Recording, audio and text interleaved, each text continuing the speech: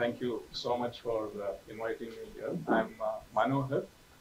Uh, I teach at uh, NALSAR University of Law, uh, courses like law and language, law and literature, etc. So I have a PhD in cultural studies, um, during which I worked on uh, Telugu language. Modern, it's called Modernity of Telugu. That's the only excuse why I'm here. Otherwise, I don't think uh, there are any other reasons. Um, so I did some work on Telugu um, vernacular journals as well because of my PhD, as part of my PhD work. Uh, so, and I also attended a conference which uh, Sayantan and Rahul organized at GITAM University on journals, Dalit journals, etc. So it's, I'm happy that I'm coming again to listen to them and see what where they are now.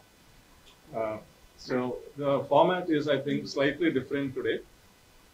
Uh, so I would uh, speak for maybe some 10 minutes introduction or even less than that. I wasn't really planning to speak even for five minutes. I thought I'll speak little, very little. But I think one of the panelists is not here as given in the schedule, uh, Narasimha Murthy, because of some health emergency.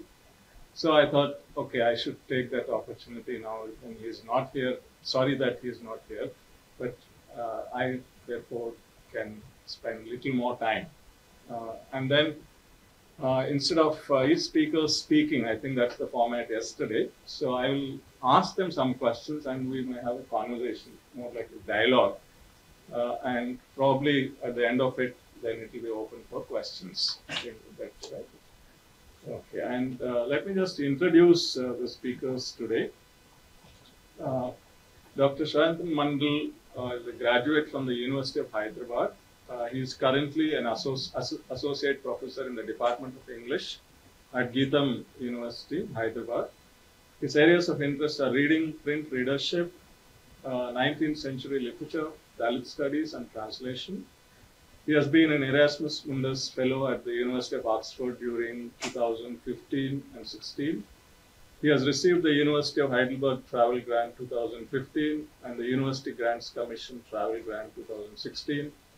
Currently, he is involved in developing digital archive of the little magazines, Dalit periodicals, ranging from 1960 to 2000, as a part of the research project titled Mapping Vernacular Network of Ideas and Recovering the Ephemeral, Dalit Literature in Marathi and Bangla Little Magazines, along with uh, Dr. Rahul Hiraman, Rahul Jondhale. Uh, so that's about uh, Dr. Sayantan. Then moving on to Dr. Rahul. Uh, he's a he has a PhD in English, uh, bracketed cultural studies uh, from the English and Foreign Language University, Hyderabad. Uh, he is an associate professor of English at the same university, GITAM University. His doctoral research was titled Religious Conversion and Dalit Experience, a study of the meanings of conversion among the Neo-Buddhists, which uh, emphasizes the phenomenon of Dalit conversion to Buddhism and uh, studies the conversion movement in Nanded district, which is in the Marathwada region of Maharashtra, uh, through collecting and analyzing historical records, pamphlets, posters, record books, etc. He has received a prestigious fellowship from the Center for the Study of Developing Societies, New Delhi, for his doctoral research. Currently, uh, he, along with uh, Dr. Sayantan, is involved in developing the digital archive of little magazines, Dalit periodicals, as part of the same project that I had mentioned, which is titled Mapping Vernacular Network of Ideas and Recovering the Ephemeral, Dalit Literature in Marathi and Bangla Little Magazines. So that's the introduction of today's uh, two speakers. Uh, so some of the things probably that might come as part of discussion, I would just start off some uh, introductory, some introductory remarks, and it could be later on maybe opened up for discussion. Uh, one of the first things that anyone who does any research on vernacular journals in India would uh, face is that they're in such pathetic condition, both material as well as the research that is done until now. we'll come to the Dalit journals later. Let me begin with the mainstream journals in the Indian languages. Very little interest, very little research is done in this area, and it's not easy to access even the mainstream journals. Uh, and there are very, very few scholars who you could rely on, even for help. I mean, situation may vary from language to language, but more it's only a degree of difference. It's not like uh, the kind of research that happens in English or the resources or the scholars. You have a huge network of that, but that doesn't exist simply for Indian languages. Now, one question that one could ask is what is that made these uh, languages to be in this kind of a situation? Now, if you go back a little to the colonial period, uh, when I was looking at uh, the Telugu material and Telugu journal, books, etc., uh, which began to be published from the 1830s onwards, I realized that for almost 400 years, it was a very vibrant work that was happening.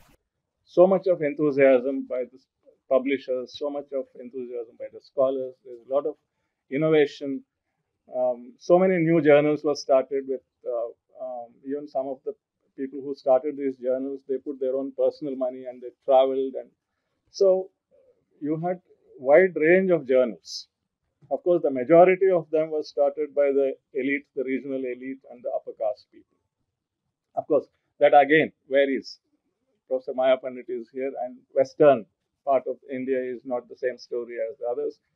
The Tamil Nadu story is not the same as uh, uh, the, even the Telugu states now. So, but despite that, one can still say that there was uh, so much of work that was happening. And anyone from any part of the world would imagine that once the colonial period ends and you have freedom and then you have a nation, an independent nation here, anyone would think that these languages will now flourish and they will grow more and then they will have new life. Now, what has happened is exactly the opposite in India. Now, you have a complete decline after India gets independence. There is almost complete negligence of the Indian languages in every sphere, whether it's in education, literature, uh, publication, etc. So slowly you have a situation where you can't find many publishers in Telugu or in uh, Marathi or in Hindi, even Hindi. I mean, Hindi and Bengali are slightly better for historical reasons, and from the south, Tamil has a slightly different uh, uh history. But more or less, otherwise, uh, there are very few publishers, and publishers are now saying that we can no longer publish. And now the oldest publisher in Hyderabad, HBT Hyderabad Book Trust, is unwilling to publish any Telugu books, and they have now started an English series called Southside Books because they don't find market for Telugu books anymore. So uh, now, now, why? What is this independent India has done? to these languages and why has it come? I, I think I just want to share some ideas. Now, once you have independent India, now there was a lot of discussion prior to that about Indian languages, where they said, you know, once there is independence, then we will focus more. English will go, the English oppression will go, and Indian languages will come to life, etc. A lot of that happened. Once independence was achieved, now you have what is generally uh, said by the scholars as Nehruvian modern India which is aspiring to build this uh, great modern nation, which is supposed to compete with Europe, etc. And also, you had by then uh, a sizable number of Anglophone class in India who has got benefits from the English education, from the colonial rule, who are unwilling to forego the benefits that uh, English has given them. And then there is also a pan Indian bureaucracy in place which has which again was threatened by the vernacular languages if they had to come to power and then if English is displaced, what would happen to their power? So you have a kind of a, an alliance, one could say. There was an alliance between the Bureau, Indian bureaucracy, uh, the Congress party leadership, high command, uh, where they decided that English is going to stay in India.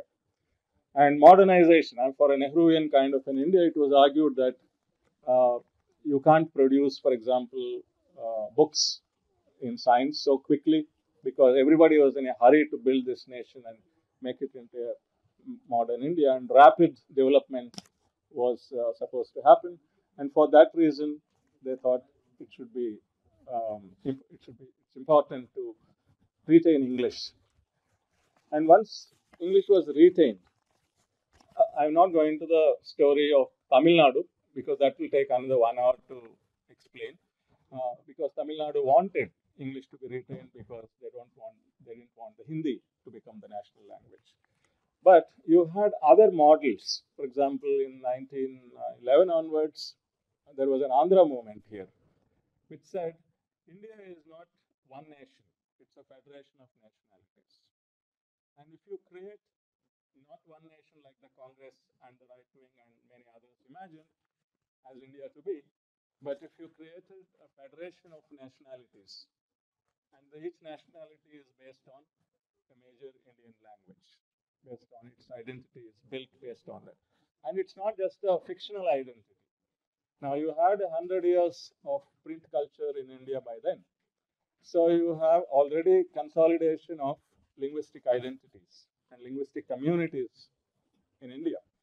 And all these were stunted, their growth was stunted once you have a pan Indian kind of a nationalism that uh, comes into being, and see, uh, which saw these linguistic nationalities as a threat to its own survival. So, therefore, the Congress and the uh, capitalist groups who also had their own, especially the Gujarati Marwadis who were uh, interested in having a all India capitalist market wanted to promote Hindi and wanted one India. So therefore they saw the federation model as a threat to one India model. And that is the time for the decline of the languages. Everything was seen as a threat. Growth of these languages was seen as a threat. And uh, so you have no monetary support, you have uh, no human support to these languages. So you see the decline. So that's, uh, as far as I can see, that is the way that one can understand why these languages are in this kind of a situation. Now coming to the Dalit uh, journals. Uh, again, when somebody began to speak a few years ago about uh, Dalit journals, so the whole question, who, how, could, how can there be Dalit journals? Because Dalit themselves don't have education. They're, most of them are illiterate. So how can there be? So the, it, it's like sounded like a funny question to ask, or a kind of uh, uh, uh, not a wise question to ask. So uh, it was assumed that there are no journals anyway in any of the Indian languages. But uh, the conference I referred to before that, Sayantan and Rahul organized, I was shocked to see that the kind of journals they brought in there and the kind of things they're finding. And uh, also from Tamil Nadu, uh, So many languages. Subra Balasubramanian, right? His name. There was a person called Balasubramanian who worked. He brought 50 journals. 50. I couldn't believe it. Then looking at uh, Telugu, um, Professor K. Satyanarayana is here. Kusuma Dharman uh, way back started uh, in Telugu a journal called Jayabheri. But unfortunately, we are not able to get a single copy so far. He contacted so many people. I asked around the contacts I had. We are not able to get any of them. Uh, but anyway, from Tamil Nadu, the Telugu story is different because Tamil Nadu, you had a strong anti-Brahmin movement. So probably one could think that there was an impetus for uh, starting journals and from the non-Brahmins. The Telugu field, the Telugu literary field was quite different. It was dominated by the Brahmins here. So if there are there aren't many, um, I mean, if there were, I'm sure we would have at least figured out some of them. But looks like there aren't many. But uh, Chandrasekhar, who is working on uh, Telugu journals, and he has interest in Dalit journals. Now he found an interesting way to uh, source this material. So he looked at some of the Christian organizations and the journals which are run by Christian organizations, and it is a lot of Dalits seem to have contributed to those journals, even if they were not started by them or run by them. Discussions on caste, etc., happened uh, in those journals. So he's now pulling out some of that stuff and uh, trying to write something, trying to trace. Uh, he also happened to be uh, Professor Satyanarayan's PhD student. So uh, that's about uh, the Dalit journals part. So they do exist. It's not that they are not there. And uh, when I was looking at some of the material, then I accidentally found an Adivasi journal, not colonial period, but it was started in 1940s, which was run for 10 years. Which was it, it was a four-page journal. I haven't got all the issues. Some of them are missing and they started and then they closed it after two years because they did not have the funding or resources. They restarted it after two years.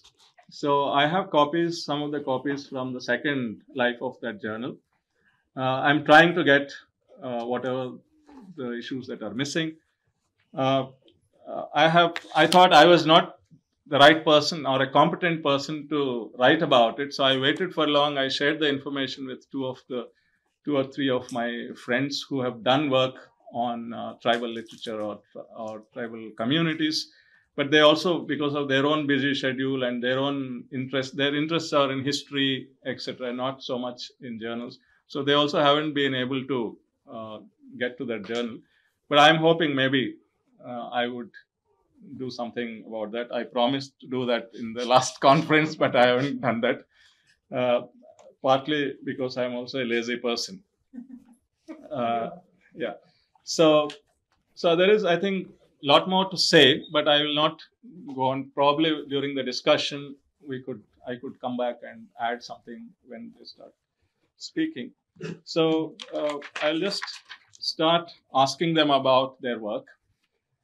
Uh, so maybe we could begin with uh, some um, talk about what exactly is the significance of uh, Dalit periodicals, uh, because I'm I, am i am not sure how many of them would know. So it will be interesting to you make some introductory kind of remarks. How do you see that? Good start. Sure. Yeah. Thank you, Manohar. Good morning, all of you. I think I'll begin. Spontaneity, what I mean by spontaneity, I'm also uh, sort of referring to this round table conference that we, back in our university, where we had invited Professor Shipra Mukherjee and she was referring to uh, in uh, Marathi and Bangla and specifically look at the Dalit writings, the Dalit literature, which was produced in uh, little magazines. Now, when we started, uh, why we started with this project? If you look at the anthologies produced by Dalit writers and authors, there's a continuous reference to the little magazines. And uh, we, we have not seen uh, a proper work on little magazines or periodicals, so to say, um, in, in, in English. Uh, in regional languages, there have been some work, but that work has to be also, you know, um, to be taken to a next level. And there has to be some kind of a profound study about these little magazines. So that was the point of break for us to uh, uh, really uh, sort of go into this project. So this was a 12 months project one year project funded by our own university. And we started uh, thinking about we started discussing about it and then we started locating yes yes. So this was a research seed grant uh, short term kind of a project and then we started uh, uh, you know contacting people tracing uh, lo- uh, locating all these uh, magazines. And then we found some interesting uh, sort of references contacts. Maya pandit also gave us very important contacts to begin with. And then when we actually started working with this we also sort of wanted to see the interaction between the little magazines and the Dalit periodicals. Uh, especially uh, in the post 1950s.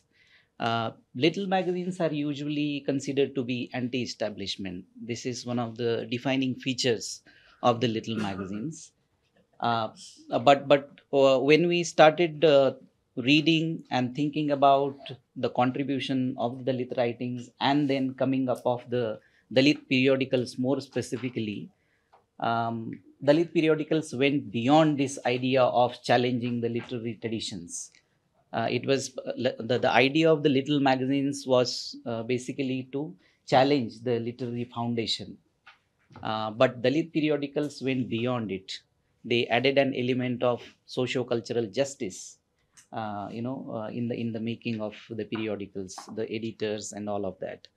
Um, so that is the that was the um, beginning point for us to also get into Dalit periodicals, not just limited to little magazines, but just to go beyond it and think about then uh, exploring Dalit periodicals more specifically.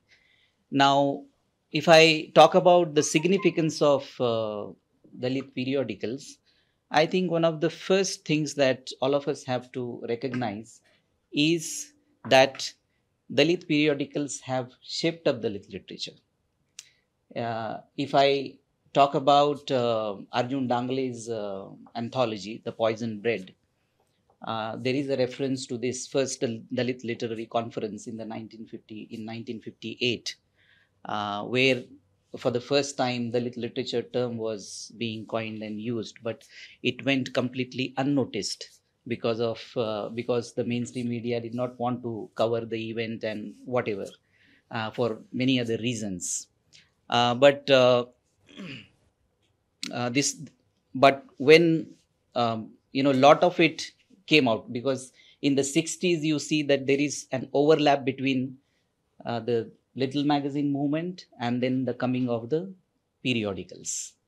Uh, if Dalit periodicals, uh, so to say, if you look at the history and trajectory of Dalit periodicals, you can trace it back even before uh, the independence time because you have uh, Ambedkar's journals, and then even before Ambedkar, there were people like Gopal Baba Walangkar. He had this uh, magazine called Vitwa, Vital Vidhvansak, and then uh, there were also there was uh, Shivram Janba Kamble. Uh, there was this periodical called Somvanshi Mitra. So there was this trajectory, this this legacy of the Dalit periodicals even before independence. Now, with the coming of the little magazine movement in the 60s, um, the, the little magazine movement itself become a platform for Dalit writers, uh, you know, um, to, to showcase their writings, to, to write about their own experiences and all of that. Uh, so, so this aspect is something very, very interesting to be looked at. Then going ahead, I think uh, I would like to talk about uh, two more important things. Uh, that is the spontaneity of the Dalit periodicals and the activism associated with the Dalit periodicals. Spontaneity, what I mean by spontaneity, I am also uh, sort of referring to this round table conference that we had back in our university where we had invited Professor Shipra Mukherjee and she was referring to uh, uh, this, this aspect where books usually take a longer period of time to be published, produced. And, and periodicals live in the moment, right? Periodicals live in the moment. So there is this, with periodicals, there is liveliness. With periodicals, there, there is like, uh, for example, periodicals also represented uh, a kind of a life where you connect with masses easily and quickly and as far as the activism part of uh, this is concerned, you see the editors of these periodicals, they were all activists. We, we see uh, this also in Dalit literature. So it was like, you know, a lot of activism into it. Uh, not just limiting it to uh, challenging the literary foundations, uh, literary traditions, but also going beyond that and um, you know bring upon the public discourse on on caste and untouchability. So that is what I feel that why the periodicals are very significant. Right. So first of all, uh, thank you, Manohar, for you know opening up the session with the context uh, that you provided, and uh, I will try to make a connection with that also and add to what Rahul said. And um, so to begin with, I think, uh, yeah, I think it was understood uh, very early uh, it may vary at which decade of the 19th century in different presidencies of India that periodicals are probably one of the best weapons people have in shaping public opinion. So to put you out there in the discourse, uh, and uh, who became the editor, what language was chosen, what you know was there a thematic concern given to it, all of it became part of that politics. It was so in Bengal as well, and I'm sure in uh, Western India, in Maharashtra, in Tamil Nadu, it was so. Um, there was so much debate. I think we can go into about the choice of language. In Bengal, uh, two particular uh, instances I'm reminded of is a debate about uh, male language, womanly language should be shunned off. It should the colloquial, the fast pacey, you know, the the language before the standardization, and why it should be shunned off the periodicals. And another was uh, Islamic Bangla so the language which has a lot of loan was from Perso, Perso-Arabian origin. So that why what should be their status? There was a long uh, court case against James Long, uh, who actually earlier prepared the reports, three reports he submitted in the middle of 19th century, uh, and created this archival category of Islamic Bangla literature to begin with. But the point that I think uh, I particularly want to harp on, and as, a bridge uh, with context you provided and the journals is the idea of standardization also. Uh, when we look into a number of uh, periodicals, uh, we see they are not written always in standard Bangla, so to speak.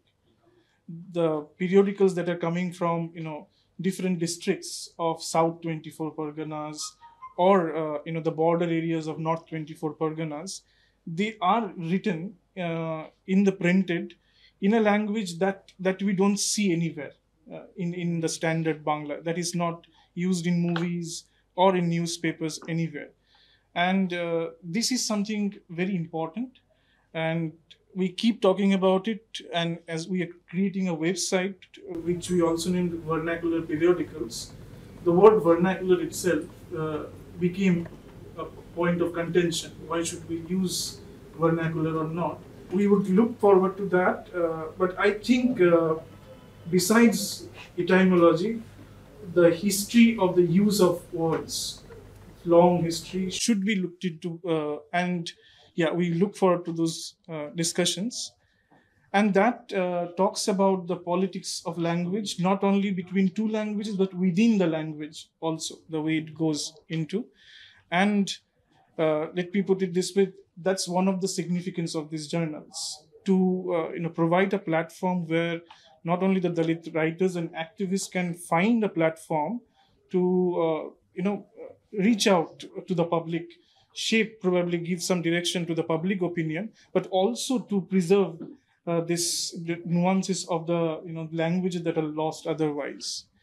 Uh, another very important thing, which I would say most of these uh, periodicals from Bangla that we have looked into in their inaugural issues where we could uh, get hold of them.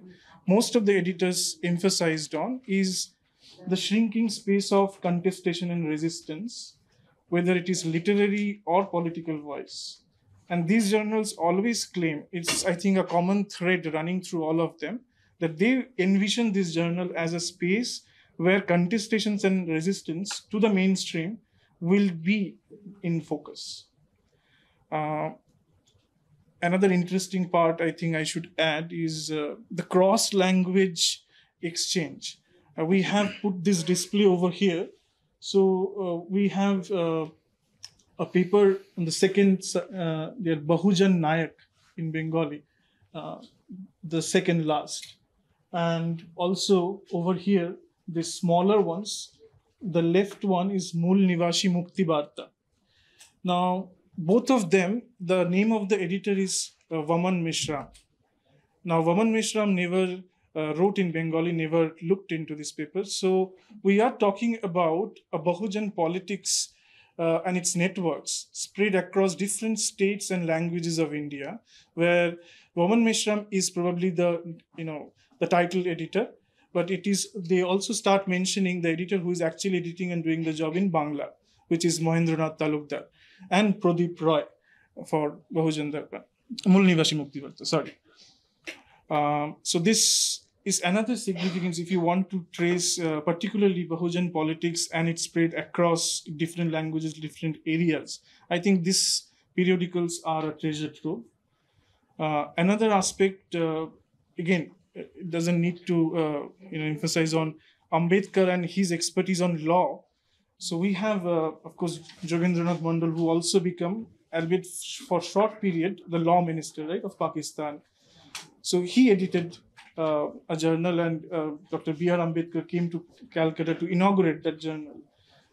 Now, if we talk about Jogendra Mandal being one of the leader of the Namashudra community, there are, of course, two other very uh, significant and uh, communities among many other scheduled caste communities. One another is Pondra Kshatriya, another is Rajbanshi. Now, Pondra Kshatriya is one, one of the early leaders, uh, Rai Charan Sardar, and uh, the Rajbongshi community's leader, Panchanan Rai. So all three of these leaders, interestingly, all of them were involved with legal profession in one way or the other. Uh, whether it's a legacy or their impact, most of these journals, I won't say all of them, but most of them had a dedicated section to talk about the law involving rights. Uh, and, and that's an in, very interesting uh, piece that is there in, in the contents. If you just go through it, you see the discussion on the new bill that is coming up or an important court case that is being talked about. Uh, so that that is very interesting. Beside, I think a number of fact-finding reports. Uh, so we have with us here uh, a copy of Adul Badal. So this was one of the very significant Bangla journals, uh, and uh, this was edited by Bimal Vishwas and Mala Mitra. So Adul Badul, at least for first five years, from 86 to 91, the first section was essays, and the first essay was always by Mahasweta Devi, where she wrote uh, a number of fact-finding reports from her travel in the scheduled caste and scheduled tribe areas. Uh, even in this issue, we have uh, which starts with uh, the plight of the scheduled caste and scheduled caste tribes and the employment exchange. Um, so yeah, plenty of studies, I think, from multiple disciplinary perspective. If we're talking about research, uh, we can go on probably, and we will come back to some of them when, during discussions.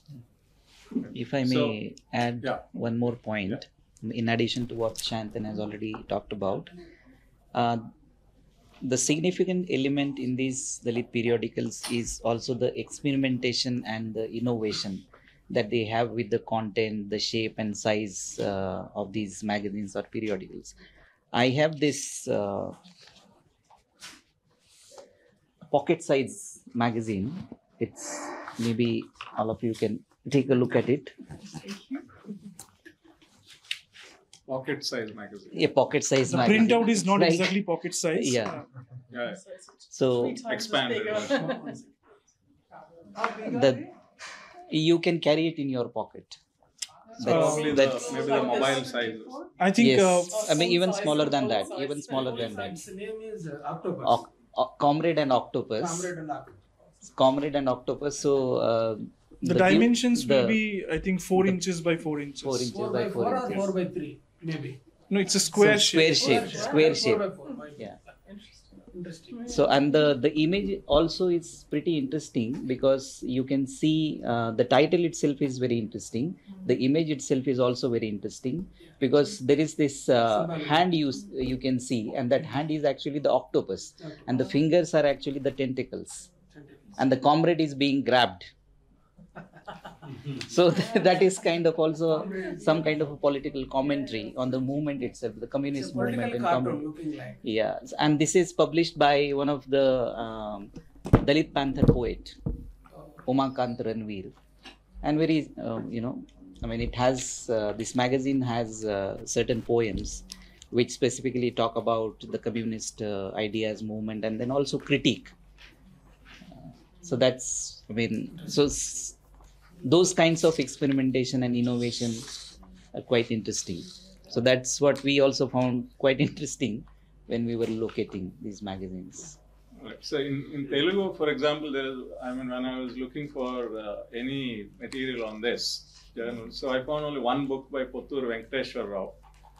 uh, which gives you like one paragraph information about every journal that existed, but uh, no mention of Jayabheri, which is supposed to be, I mean, he was a tall leader and a scholar, Kusuma Dharmanna, in his own time.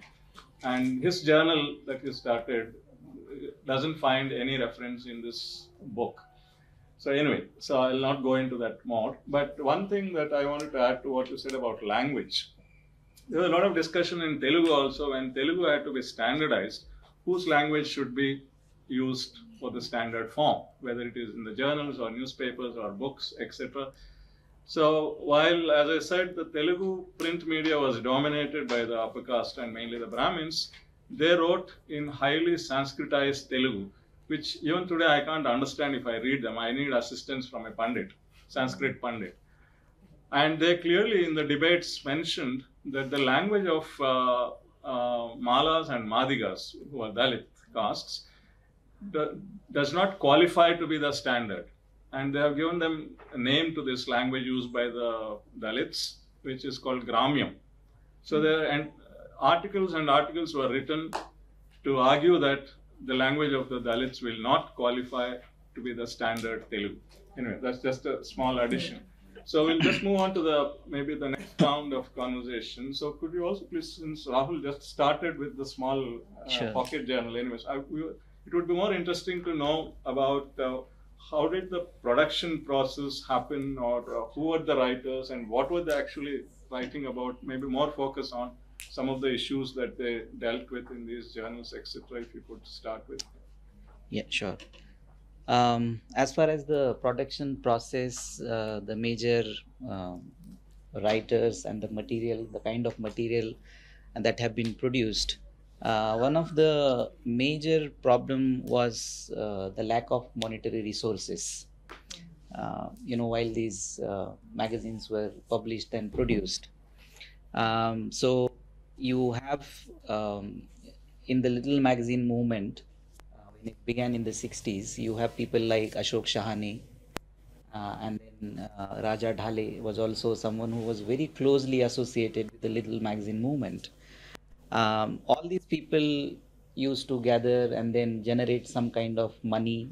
Um, uh, I mean, though in very small uh, sort of uh, quantity, but uh, that is what I mean. There was no organizational kind of a setup to this.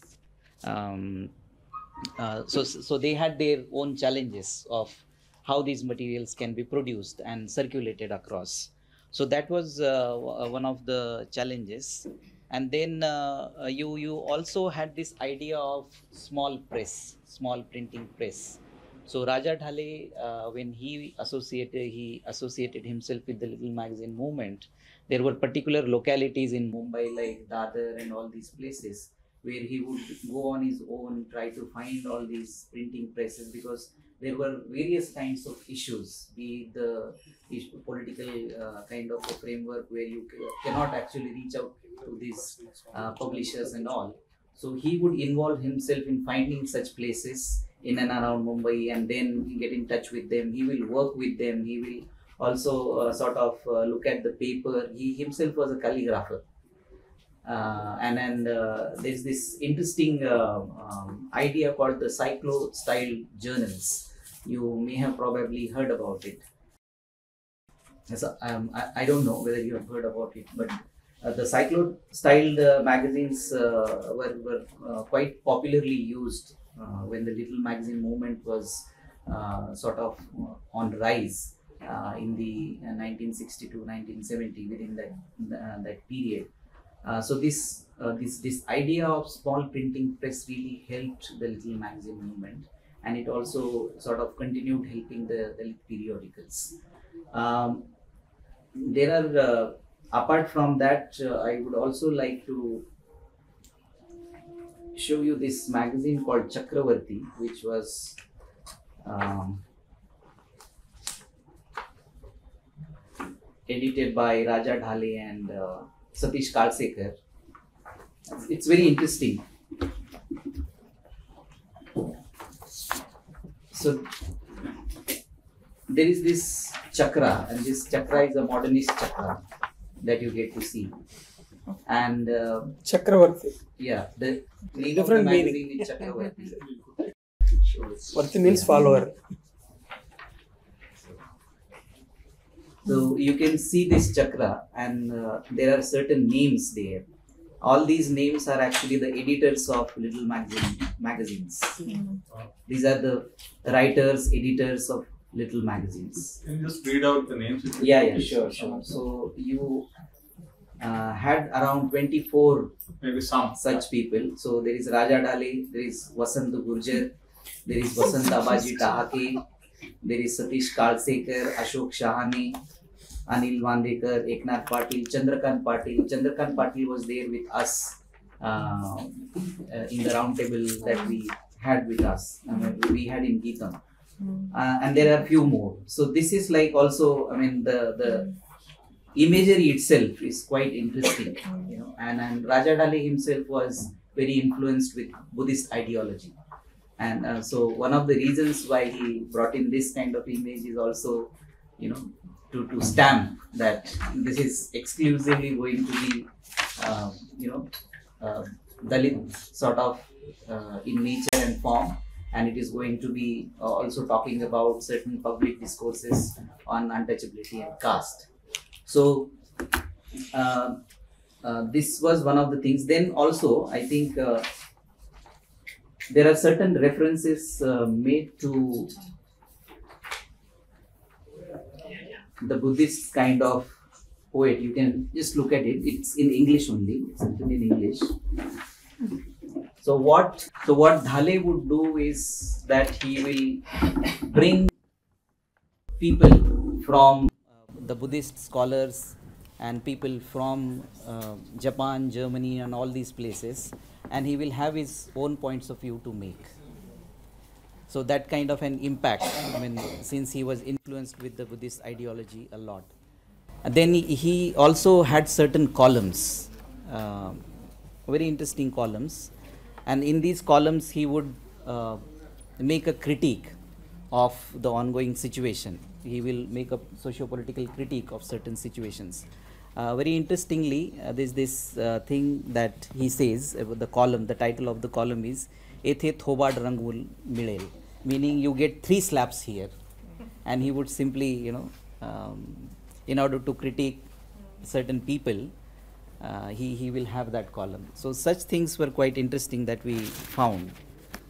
Um, yeah, I think. So, i- was the Bangla situation similar or different, or how it was, if you could?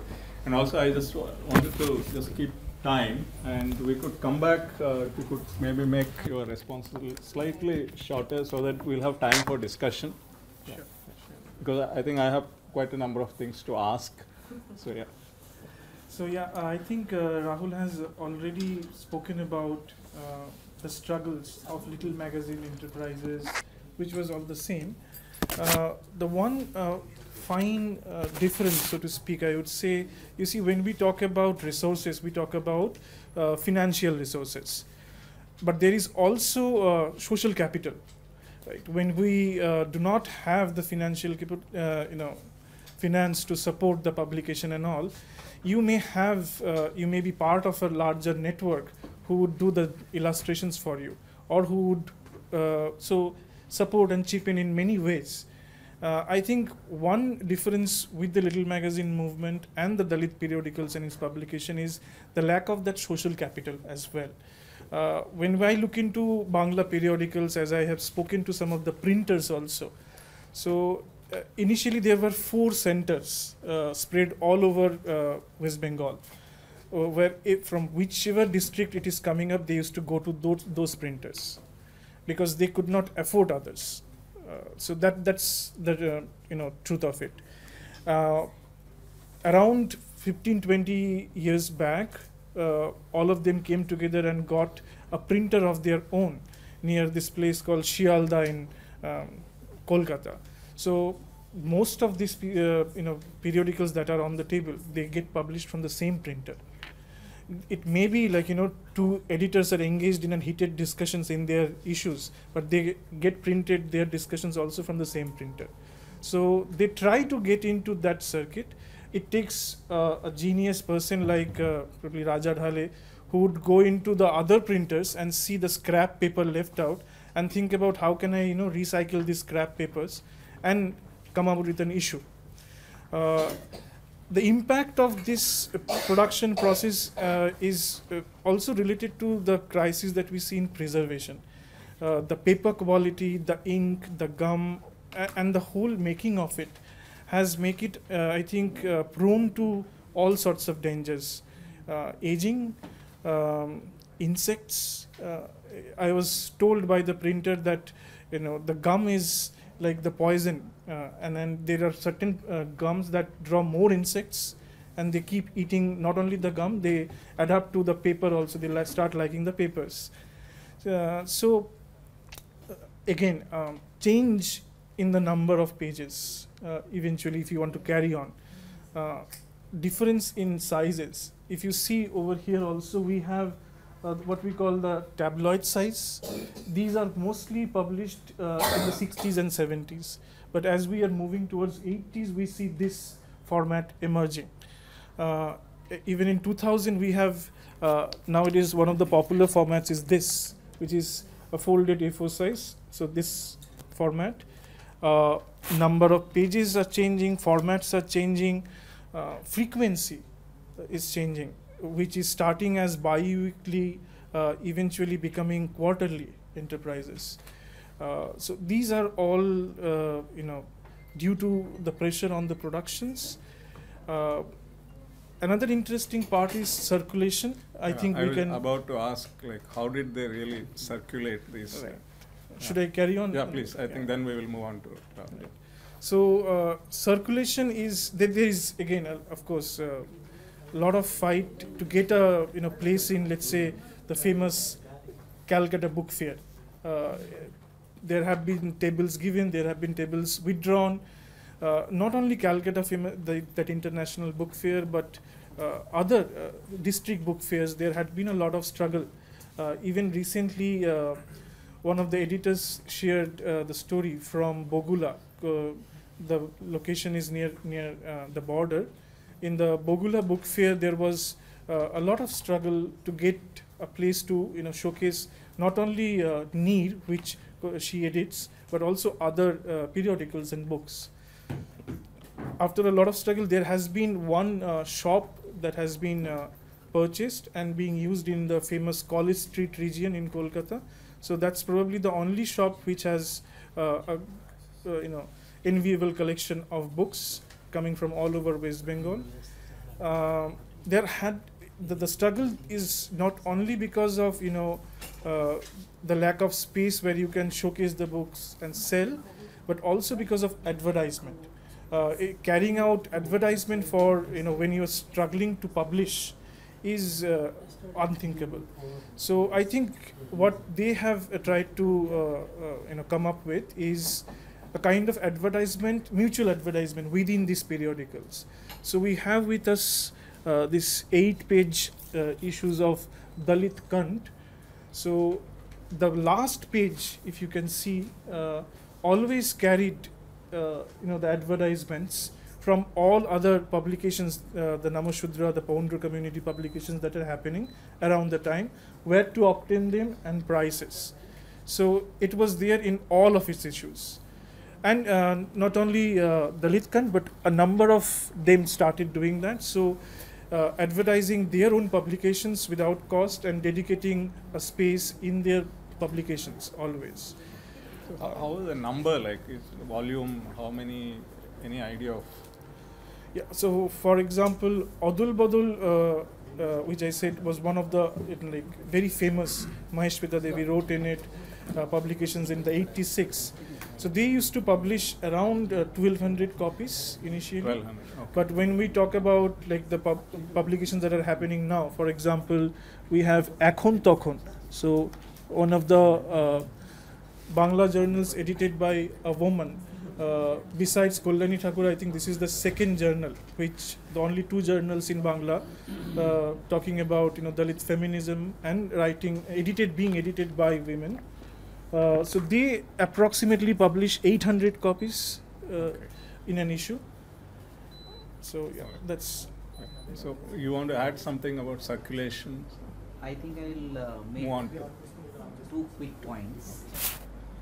Initially, when the Little Magazine movement began, little. lou- Can you speak a little louder? Initially, when the Little Magazine movement began, uh, the circulation of these magazines was for private circulation. What is private circulation? Private circulation in the sense that they used to be circulated within family and friends, and also that is also for obvious reasons why it was uh, being circulated privately. The other important aspect is also the non-commercial nature of these little magazines. These magazines were non-commercial again for obvious reasons because you know they, they highlighted this uh, you know the most difficult part of it like the public discourse on uh, social issues be it caste or untouchability or whatever. So all those uh, things were uh, very important for the as far as the circulation strategies uh, is concerned. Um, and then as Sayantan has already pointed out um, these the circulations used to mostly happen in during the book fairs public meetings and all of that. And then then uh, there was also a struggle for space as he was also mentioning. And that is how they had to do it during the public meetings and then book fairs and all of that. Yeah that's all. So maybe you could uh, continue with maybe if you could talk about how these journals were also received and uh, also the relationship between those journals which you actually began. When you began you said uh, these journals actually shaped the Dalit movement. So what I mean if you could add a little more about in what ways that process happened. Yeah. So initially, um, there was a limited readership. I mean, who would want to uh, read Dalit periodicals? So there was a real challenge there, uh, since uh, the I mean, it was difficult. See, I also said that there was private circulation, and, uh, and this this idea also shapes into something called as limited readership. So there was a real struggle at that level, and then um if you see, uh, especially uh, after 1965, uh, when we speak about some of these uh, Dalit periodicals like Baburao Bagul's Army, I have. Uh, so we have collected this magazine called Ami. This was by Baburao Bagul, and this is in uh, 1971. And the first essay uh, that you have here is uh, Dr. Babasaheb Ambedkar's speech, Mukti Kon Pathe, What Way Emancipation. Um, so some such things were brought into limelight uh, with the emergence of these periodicals, and and uh, that is how they were also able to uh, sort of um, you know put up a discourse on caste and untouchability.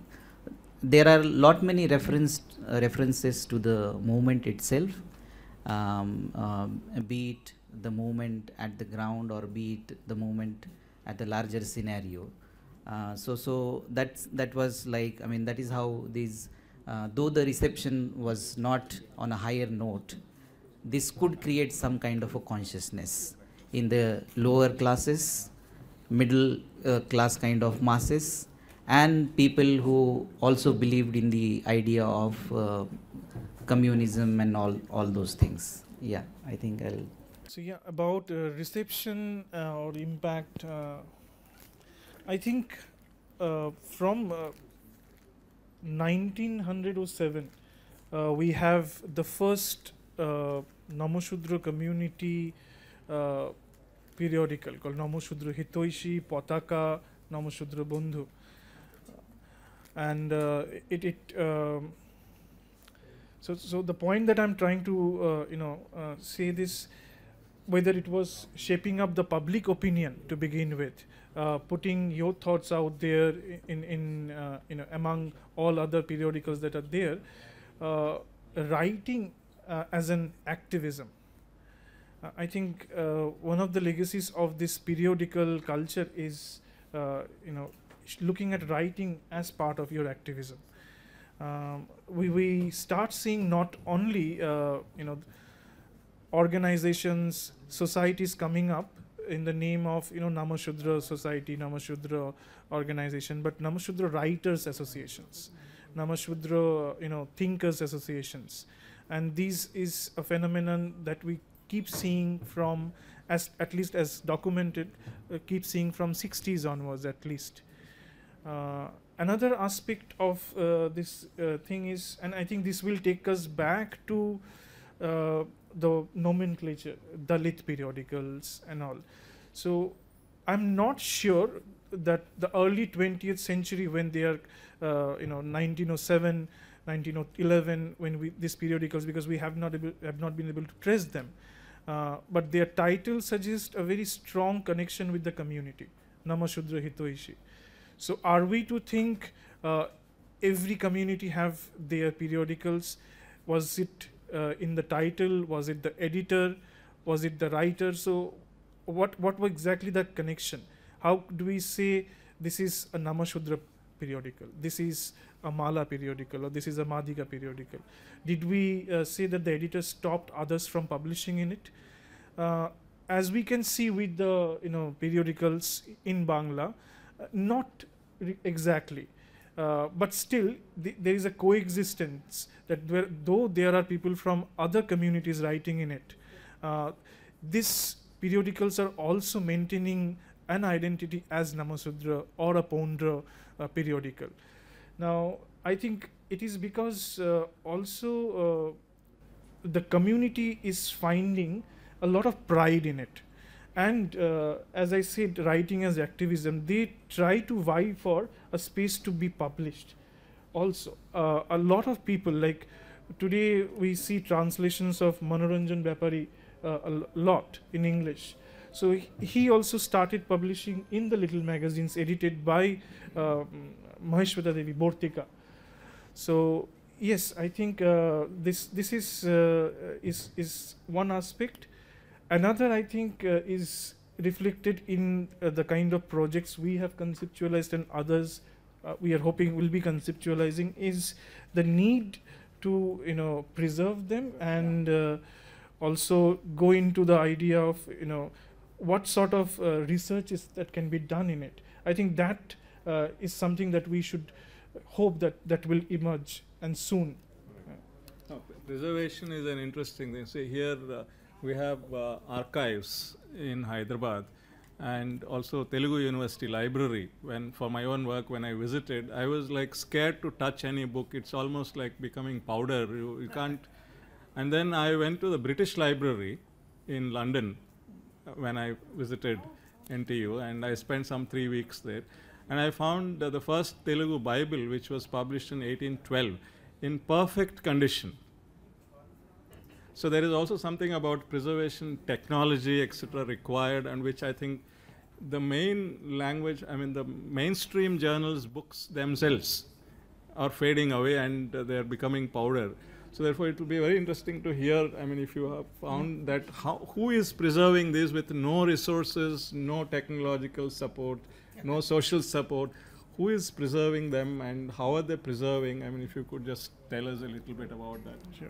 Uh, it it's also at times mostly individuals, and uh, on that note, let me circulate this uh, three sets of uh, photocopies that I have. These are mostly uh, illustrations of the cover pages. Is the same set, uh, and so a very famous poet Purnendu Pattrea uh, designed these uh, cover pages for Odol Bodol. Now, yeah, the scene is bleak, and we can't emphasize more on this. I think uh, the lack of institutional support uh, makes uh, to this, but we should also understand. See, when we talk about North Bengal, and now I think after the flood in Sikkim, we are also talking about Tista, Tista barrage, 80s, uh, the whole you know place changed, and 60s floods every year. Uh, to talk about Maharashtra, different places uh, though there is arid regions but there is also huge amount of waterlogging in in mumbai there is uh, moist weather humidity to talk about other parts of bengal south 24 parganas north 24 parganas full of rivers so it it puts another additional layer uh, of you know challenges how do you keep this very fragile to begin with, you know, made of uh, low cost paper and you know you look at uh, this copy this is uh, they used uh, staplers right? So you can understand like how difficult it will be to maintain a copy like this for a longer period of time. Um, so these these are certain problems and that's why uh, we we struggled we could not find and we were told uh, most of the journals uh, from the northern part of bengal jalpaiguri Cooch Behar, uh, uh, 60s are gone so yeah it is a big silence on that so So Rahul, can you tell how you sourced the material and where did you source them from, whatever you? Yeah, yeah, sure. Uh, so as Sayantan has already pointed out, uh, the personal sort of self-managed preservation. Uh, during our field trips, uh, when we had established certain contacts, uh, JV Pawar was also there for our conference. We had invited him. So he was one of those sources where we could trace the Dalit periodicals from. He has a huge collection, but getting that collection was also very difficult because there was we had to really uh, sort of convince him and perceive him that we are doing something like this, and if we don't do this, this will be lost. Uh, because of various reasons, as he has already said, like 40 50 years uh, of time has already gone by uh, and then you know there are certain uh, material conditions because of which uh, these magazines would not survive uh, longer so that was uh, uh, our point of source. Then we also uh, went to shivaji university uh, with the help of maya pandit ma'am. We met the head of the department from the marathi department randhir shinde. And then we could sort of uh, you know look at their library. So there is there is some certain collection there but again there are uh, practical problems uh, because you may not be able to access the periodicals uh, and and uh, you may not be able to also tell them that you are uh, probably doing something like this. Uh, they would allow you to maybe take the pictures some pictures and then you know all of that take some xerox and all but they would not really um, give you this for digitization. So that was another uh, challenge that we faced uh, as far as you know thinking about location and then also trying to uh, fetch them or access them.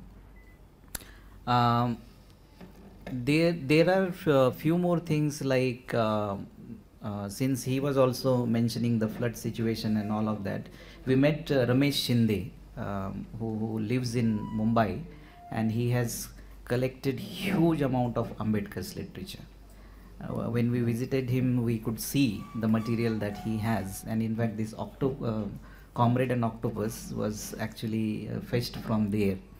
So there there was this flood and all and he lost so many magazines because of that. Uh, but we could you know sort of request him uh, if he if he had some of such uh, magazines. So these are some of the challenges these are some of the sources from where we could uh, you know we also met arjun dangle. Uh, um, and and he uh, there, there is this uh, mumbai granth sangrahalaya which has the collection of uh, some of these periodicals. But again there is a uh, problem there because the the moment you contact they would say that it is it is under renovation. And the access is sort of limited. And i am not saying this uh, just like that because we have heard the same thing from many other people. So that access is it's really really difficult. It's been under So- for. yeah. see that's what. So we have been told the same that reno- renovation and probably you will not be able to access it. So yeah thank you. All right, I think uh, we should, I have one more thing to ask, but I think it can come a little later. Uh, So now I think it's uh, open for uh, some questions from all of you. Yes, sir. First of all, I should uh, congratulate all three of you, and because um, I am educated, so a lot of uh, interesting information. Congratulations. uh, I have two queries. That is, uh, my objection regarding the word vernacular. Uh, because when the colonial officer looked down at uh, Indian languages, they coined this term vernacular. That's not at all acceptable. And we can use that word. Uh, of course, we can refer that as the, colonial officers used uh, looking at the Indian language like that. But when we are writing uh, our own writings, then uh, that's not acceptable. And uh, the words Indian languages or regional languages are quite uh, mm, honorific. Or, and that is one observation. And one thing is, when you mentioned about the language caste wise, but when uh, the discussions uh, for uh, decades together, when the discussions uh, went on regarding the what is the Grami Bhasha, what is the Vyavaharika Bhasha, what is the Sishta Vyavaharika, and uh, what is the Grandhika Bhasha, and which kind of language should be used in magazines, and uh, which which is standardization, then the language was not mentioned in the name of, but in the category of Mala language, Madiga language, or Shudra language, or Brahmin language. Of course, Brahmin kind of uh, uh, dialect is there. That is uh, that is mentioned by the in the linguistics also. But when they talked about the standardization language, whose language should be standardized, then this kind of discussion was not there on Mala language or Madiga language or Shudra language. It's not uh, categorized in the name of castes but only exception is Brahmin kind of uh, uh, that is also Vaidika Brahmin language that, that is also particularly mentioned. But this is my observation that uh, when the Grandhika Vyavaharika Bhasha dialogue was going on for four to five decades, right from the Gurajada Apparao and uh, Gidugu Ramamurthy, I, as my memory goes, this kind of categorization was not there. I, really enjoyed uh, your presentations. Thank you. And I like how you contextualized everything, Prof. Reddy. But really, very fascinating. I just wanted to know perhaps a little more between the relationship of publishers and writers for the little magazines and for uh, and between the Dalit, Dalit periodicals. Because some of the names you said, you know, Pawan Mishro, uh, uh, Brahmin, right?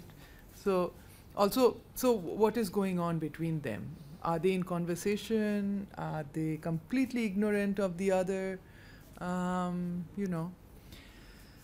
So this this was my question. Rahul, uh, I think you might make it a little more clearer about the, you know, comrade and uh, that octopus. Uh, because you need to take into account the background of this. When the Samyukta Maharashtra movement was going on, the communists had taken lead over it. And they were very popular, but not only in the establishment, they are also very anti establishment. And a lot of those people, like Satish Kalsekar, for instance, were helpful to the periodicals. Now, Raja Dhale was an anti communist. And, you know, all these um, inner contradictions amongst uh, people who in, you brought out the Dalit uh, periodicals also reflect this kind of a tension between two political ideologies. And, um, you know, there, there were lots of uh, um, operation um, incidents happening against Dalits during the same time. So, how i mean what kind of a tension do you see behind that? Because you know uh, that has been because that is where the dalit panthers came into uh, you know it was divided. Um, arjun dangle and namdev dhasal versus raja dhale and the others. So the seeds were sown right from this uh, moment. So i think if you might make it a little clearer about the social and political tensions between literary political tensions between these two groups that might be a little more useful to understand the predicaments before uh, you know the periodicals uh, run out run by uh, Dalit intellectuals. Yeah, so we will respond and then we'll open up again next round. Uh, so vernacular, yeah. Uh, uh, sorry, I didn't get your name, Professor. Subhajit, Yeah. Thank you for questions and uh,